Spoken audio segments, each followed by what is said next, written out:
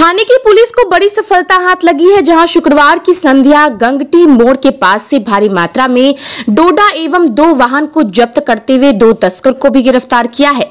DSP doctor Rajkishore Singh ने press conference करते हुए बताया कि दिनांक 8 नौ 2023 को आमस थाना को गुप्त सूचना मिली थी कि गंगटी मोड़ के पास जीटी रोड से होते हुए औरंगाबाद की तरफ़ से बुलेरो पिकअप वाहन जिसका registration number B R O two W four eight seven six है।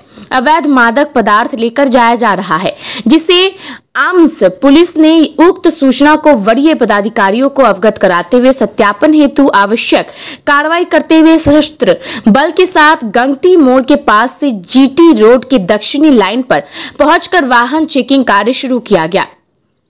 इसी क्रम में एक व्यक्ति ब्लू रंग की ग्लैमर।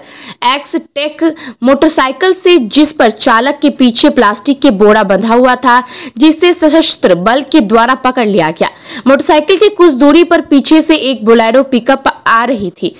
जो मोटरसाइकिल को पकड़ते देख चालक पिकअप छोड़कर भागने लगा, जिसे पुलिस द्वारा पकड़ने का प्रयास किया गया। परंतु वह भागने में सफल रहा। मोटरसाइकिल से पकड़ाया व्यक्ति से नाम पता पूछे जाने पर उसने अपना नाम कृष्णा सिंह, उम्र 43 वर्ष पिता जंग बहादुर सिंह ग्राम बासी खुर्द, थाना मनातू, जिला पलामू।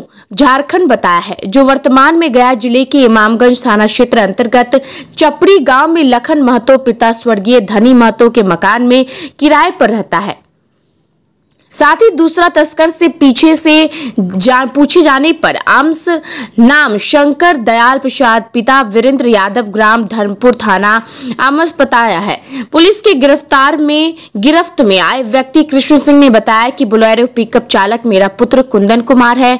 व्यक्ति का बदन तलाशी लिया गया तो उसके पास से एक नार्जो 50 एक कंपनी का स्क्रीन टच मोबाइल पाया गया।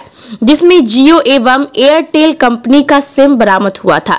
साथ ही 500 का 21 नोट एवं 200 का 33 तेईस नोट यानी कुल पंद्रह हज़ार एक सौ रुपए एवं मोटरसाइकिल एवं पिकअप वाहन से 10 क्विंटल सतासी केजी मादक पदार्थ डोडा बरामद किया गया। इस संबंध में आम्स थाना कांड संख्या 325 बाई तेईस, दिनांक 8 नौ 2013 धारा आठ बीस बी आई आई सी पच्चीस पैंतीस एनडीपीएस एक्ट दर्ज कर आगे की कार्रवाई की जा रही है।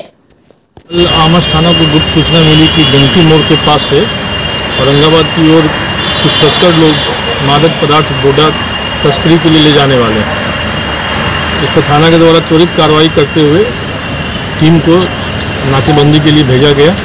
घंटी मोड़ के पास चेकिंग लगाया तो एक मोटरसाइकिल सवार, दो आदमी और उसके पीछे एक बोरा बंधा हुआ था, उसको रोका तो देखा कि उसमें संदिग्ध पदार्थ है, लेकिन उसके पीछे एक पिकअप वान थी, जो इसको पकड़, देखा कि पकड़ा गया तो वो कूद कर भागने में सफल रहा। तो पिकअप वान और मोटरसाइकिल दोनों को जब्त किया गया तो 10 क्विंटल सतासी के जी डोडा मादक पदार्थ बरामद हुआ। कितने लोगों की गिरफ्तारी है सर अभी तो दो लोगों की गिरफ्तारी हुई, तीसरा भाग गया है लेकिन उसकी गिरफ्तारी जल्द हो जाएगी।